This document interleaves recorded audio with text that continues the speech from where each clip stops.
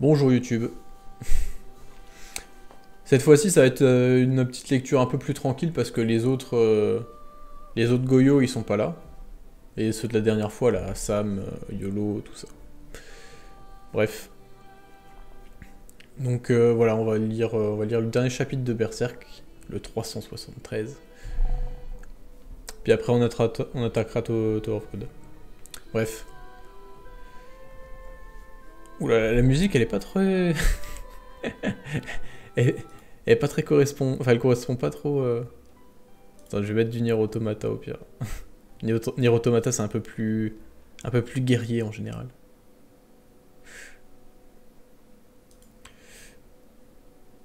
Hop. Non, peut-être pas celle-là. Ouais, non. Ah, celle-là, elle est bien. Allez, let's go.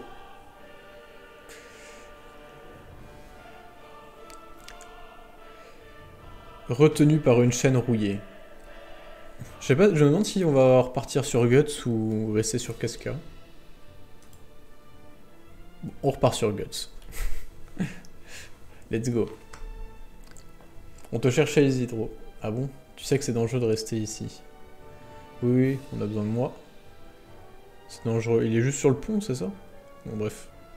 Cher comme procéder à un rite magique afin de découvrir où a été emmené Casca. Ah oui, de la magie.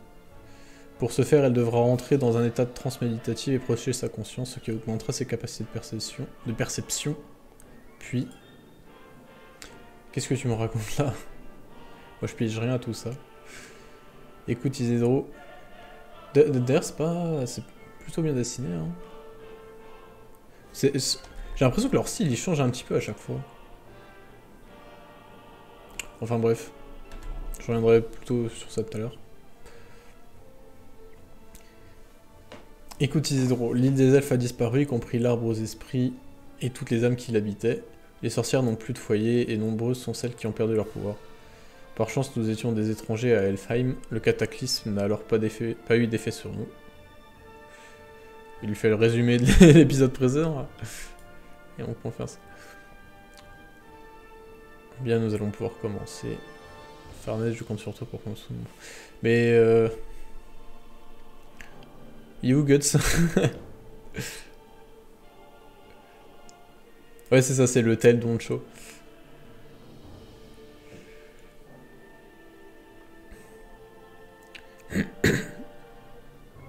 Il est primordial que l'intention de chacun de nous soit concentrée durant, en un point durant le rite. Merde, attends, je vais baisser la musique parce que ça se trouve, vous devez l'entendre en écho.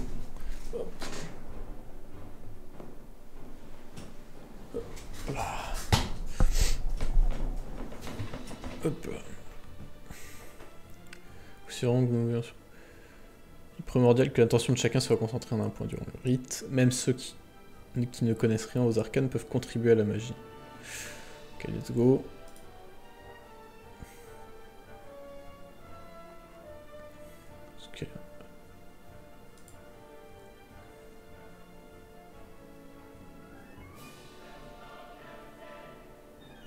Ah, elle voit les... Oui, c'est les, les arbres... Enfin... Les branches de l'arbre monde qui s'étalent un peu euh, partout.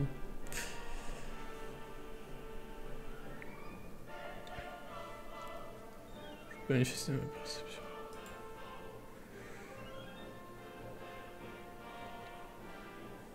Question. Ah, le voilà. Attends, elle voit quoi? C'est quoi la dernière case là?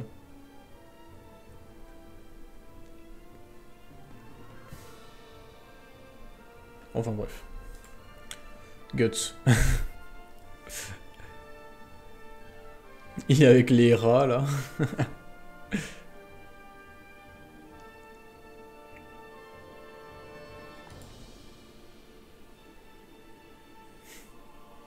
Vraiment, elle est sortie de l'épée là. Genre... La bête, la fameuse bête.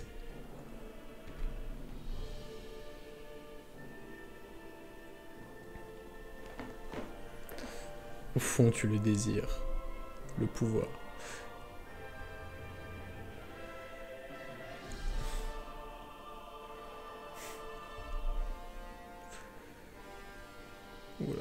oula, c'est pas bon ça.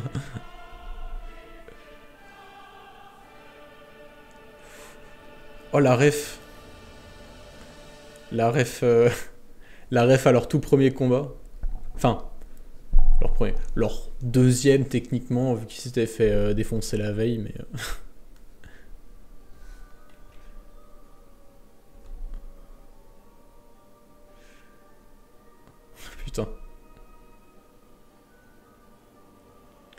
Tu ne peux pas t'opposer à moi, cette marque te limite.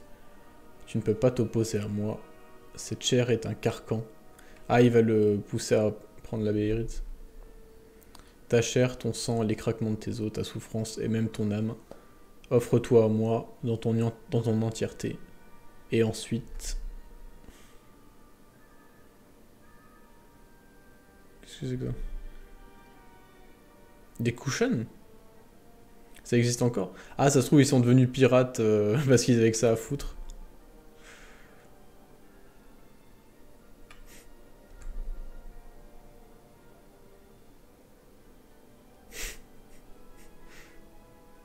Ok.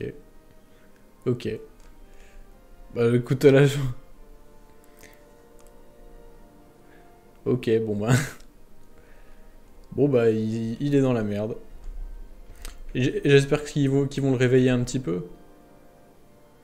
Non, ou alors ça va être l'inverse, il va se faire capturer. Il va se retrouver écarté des autres. Enfin bref. Je vais revenir un peu en arrière.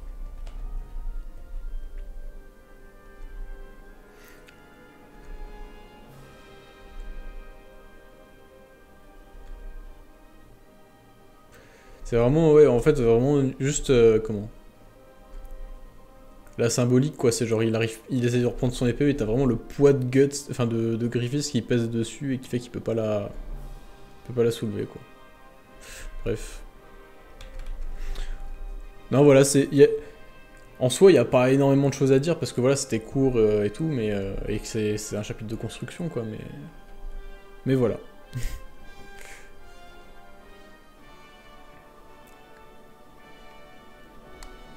Euh, Est-ce qu'il peut pas devenir apôtre car il est un sacrifice Euh, Je sais plus. C'est vrai qu'il me semble que j'avais déjà débattu de ça euh, dans un forum il y a longtemps. Euh, il me semble que ouais, il y avait un, il y avait un passage du manga qui spécifiait ce truc-là. mais je me souviens plus s'il confirmait ou, il- non que qu'un sacrifié pouvait pas devenir un apôtre. Bref, je sais, je sais plus. Faudrait, faudrait regarder. Dans tous les cas, je pense pas que. Parce que oui, il y a Guts, il traîne la Béhérite, mais je pense pas que la Béhérite, elle soit destinée à Guts. Je pense que ça peut être quelqu'un d'autre, genre. euh, bah alors, typiquement, si on veut imaginer un scénario un peu tragique, on peut imaginer que Guts, il tue Farnèse, et que Serpico pète un plomb et. et utilise la Béhérite, euh, sacrifie les autres, et puis. juste pour tuer Griffith, j'en sais rien. Bon, c'est une petite théorie comme ça à la con que je sors à la- à l'arrache, mais. euh, on pourrait imaginer ce genre de truc, quoi. J'imagine d'autres personnes que Guts euh, utilisaient la Béhérite.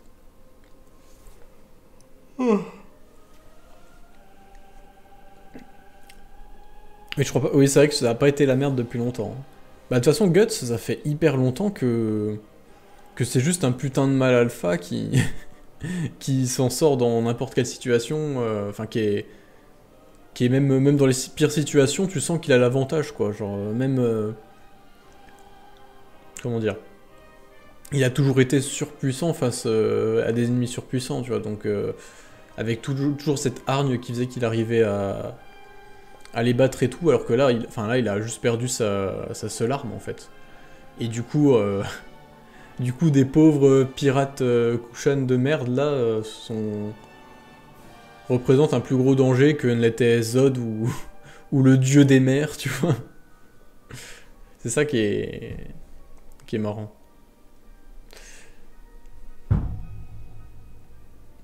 Non mais non, je pense pas qu'il va il va les niquer là.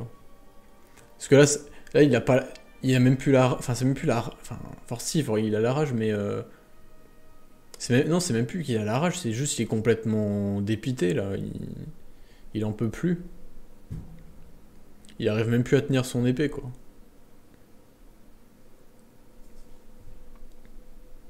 Non, je pense, je pense que je pense qu'il va se faire, euh, il va se faire choper. il va vraiment se faire euh, capturer. Donc ouais, bon après c'était court, ça faisait quand même 20 pages, hein, et puis elles sont pas moches les pages. Et puis pour le coup, je trouve que le découpage est, vachement mieux que d'habitude. C'est vraiment ma, ma principale critique euh, depuis le début qu'il l'a reprise. Le, ouais, le storyboarding, quoi. Et franchement, non, ça va. Est-ce que le reste de l'équipe va se faire sacrifier? Ben. C'est un peu que, ce que c'est un peu l'optique que j'avais, quoi. Et puis surtout, il y a cette phrase de. de comment? De la bête euh, qui est en lui, là, qu'on a, qu'on a. Dans, dans, ou dans je sais plus quel. euh, comment? Je crois que c'était vers le tome 33, il me semble. Quand ils partent sur le bateau. Euh, où elle disait que tu. Elle disait un truc du genre. euh, en fait, elle teasait un peu euh, la mort de tous ses compagnons actuels, tu vois. Elle disait oui, euh, tu peux t'abriter un peu dans cette lumière, je sais pas quoi. Mais quand ils vont crever, t'inquiète pas que. T'inquiète pas que je serai de retour, quoi. Elle disait ça en gros. Donc. Donc ouais, je, pense, je sais pas si c'est du teasing, un foreshadowing ou ce que vous voulez, mais... En tout cas, on nous le fait proposer, quoi. Sinon, il va se faire posséder par la bête. Ouais. Bah d'ailleurs, la bête, faut bien se dire que c'est un truc complètement métaphorique. hein. Il n'y a pas une bête euh, physiquement euh, qui est à l'intérieur de lui et tout. C'est juste l'expression un peu de, sa folie latente euh, qui est, exacerbée par l'armure du berserker d'ailleurs, qui lui fait perdre petit à petit son humanité. Et d'ailleurs, la- l'armure, l'armure, il l'a toujours là. Oui, il l'a sur lui. Donc, euh, donc ouais. Ouais. Parce qu'en en plus, si vous voulez, là, il... il- En fait, Guts, il va plus avoir le choix de... Comment De faire appel à l'armure du Berserker ou à son pouvoir et tout, pour se battre, parce qu'en fait, si... Si vous voulez, s'il n'arrive plus à soulever son épée, c'est pas juste euh, une question de, de comment? De, de, de- parce que enfin de, de, dépression si vous voulez genre c'est pas juste parce qu'il s'est fait piquer euh, Casca et tout qui, qui a plus de force quoi c'est pas juste mental. C'est juste que physiquement l'armure l'a complètement baisé quoi. Genre vous- on le voit là avec ses, ses mains qui sont toutes tremblantes et tout ça fait plusieurs chapitres ça nous a été teasé longtemps euh, en avance et tout euh, où vraiment il y a même des fois où il avait comment quand il s'entraînait à un moment euh, juste avant, je crois au, au tout dernier chapitre euh, dessiné par Murat, qui il s'entraînait à bord de la cascade, il a laissé échapper de ses mains plusieurs fois son, épée. Donc, donc ouais, il y a vraiment ce, côté, l'armure, elle le- lui nique son corps, et puis là, il peut juste physiquement plus, à part quand il fera appel à l'armure. Et pour faire appel à l'armure, forcément, il perd de son humanité, et, et la, bête, euh, la bête reprend de la force, quoi. Enfin bref.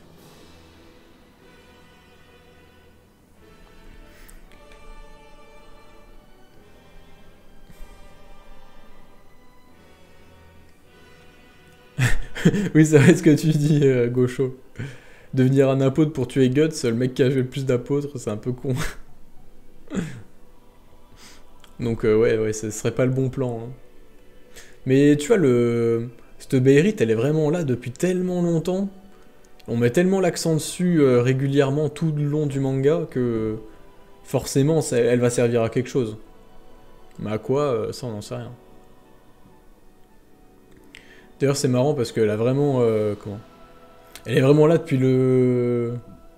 Depuis le premier chapitre, quoi. Enfin, non. Non, parce qu'il l'avait récupéré au compte, je crois. Enfin, bref. Mais, en tout cas, il l'a depuis la fin de l'arc du guerrier noir. Sachant qu'à l'époque, euh, Miura, il avait pas, il avait pas trop euh, d'idée de ce qu'il allait faire, mais. euh,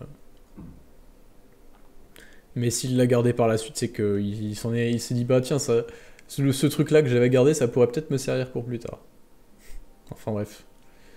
Et euh, depuis, euh, il fait pas mal le- l'accent là-dessus, surtout avec euh, Puck qui fait des blagues. Enfin bref. Les bérytes disparaissent après avoir été utilisés? Non, non, non, justement. Justement, non, euh, parce que la, la, la que Guts il a, c'est celle du, du justement, qu'il a, déjà utilisée. D'ailleurs, qu'il a même réutilisé une deuxième fois, euh, ce qui est un peu une incohérence. Genre, c'est, enfin, on sait maintenant que c'est un peu incohérent.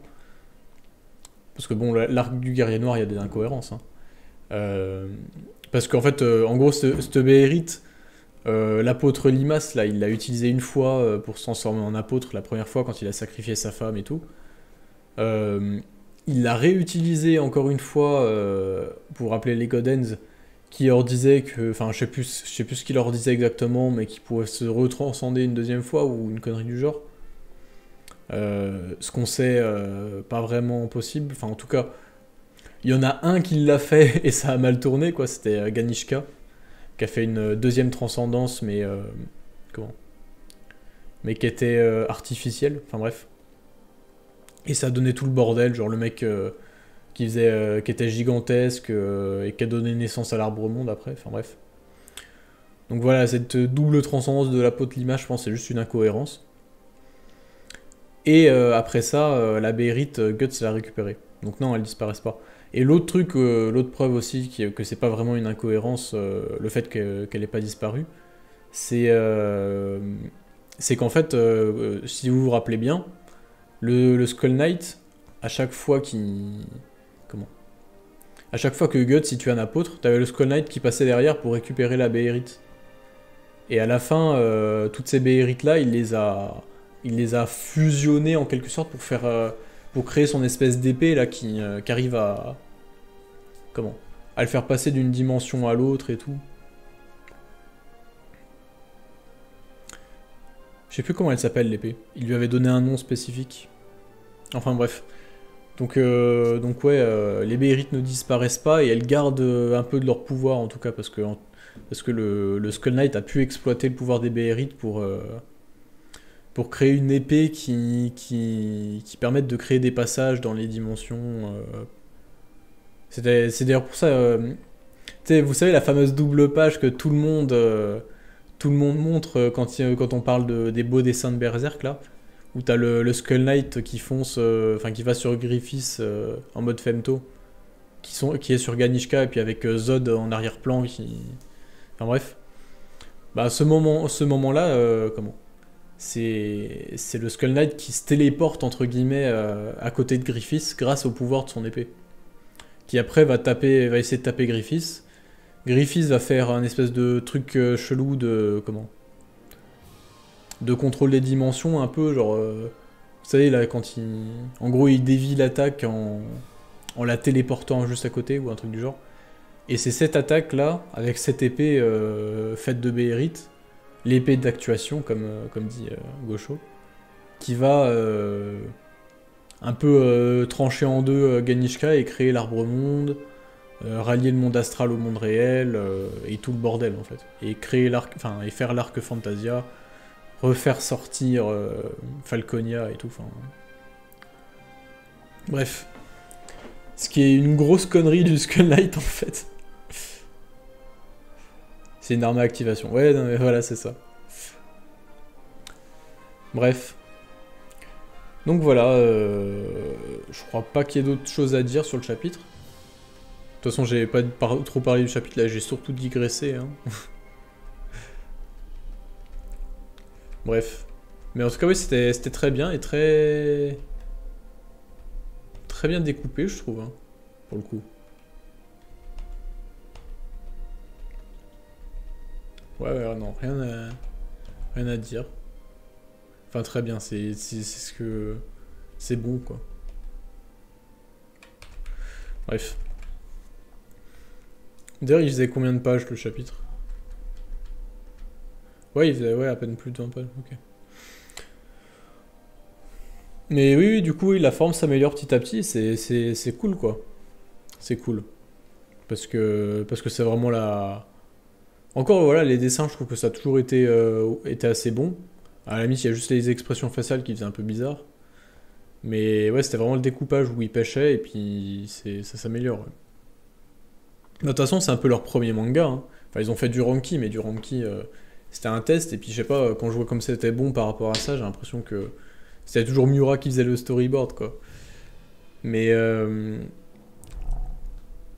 Mais oui, c'est leur premier manga, euh, voilà. Enfin, il y a Koji Mori derrière qui, planifie, mais je pense qu'il doit pas s'occuper. Il s'occupe il s'occupe peut-être pas du storyboarding, euh, peut-être qu'il fait juste le, le scénar. J'en sais rien, donc euh, bref.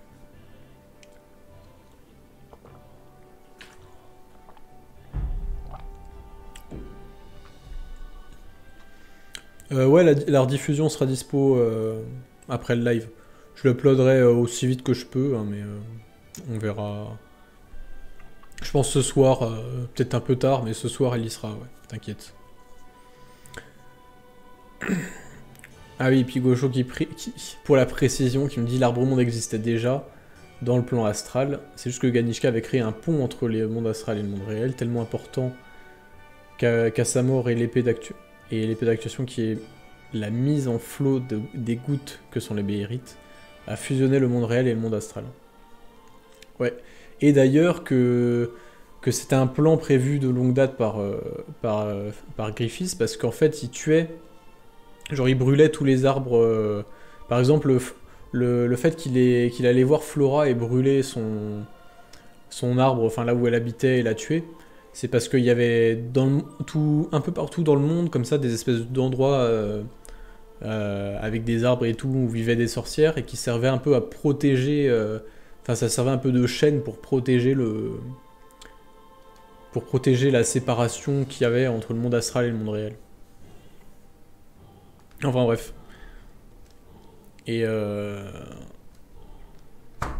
D'ailleurs, faudra que je fasse un jour une vidéo là-dessus. Une vidéo un peu lore. Ça pourrait être sympa. Mais il y a plein de trucs que j'ai envie de faire. De toute façon, je vais en parler un peu dans la vidéo sur Griffiths aussi de ça. Mais bref. Voilà, c'était tout. Euh, Ah oui, tiens, d'ailleurs, vu qu'on reste sur, euh, sur euh, Berserk vite fait, je vais juste vous dire que ouais, la vidéo sur Griffiths, ben, j'avance, mais, mais ça va être encore long parce que j'y arrive pas. Enfin, il y a des passages qui me... que je trouve pas satisfaisants, que que je refasse et tout, que des trucs que j'arrive pas bien à expliquer. Enfin, bref. Bah, c'est comme sur Guts en fait. hein. La vidéo sur Guts, elle a pris 3 mois parce que j'ai dû la réécrire, euh, réécrire plein de passages, euh, réfléchir un petit moment avant de savoir ce que j'avais à dire et tout. Donc, euh, ouais. Voilà. Ça sera pas pour tout de suite.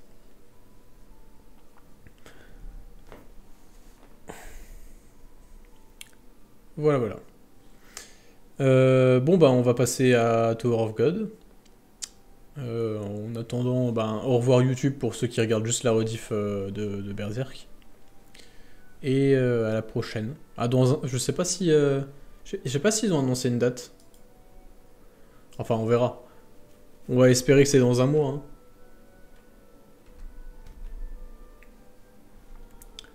Hop. Allez, salut YouTube.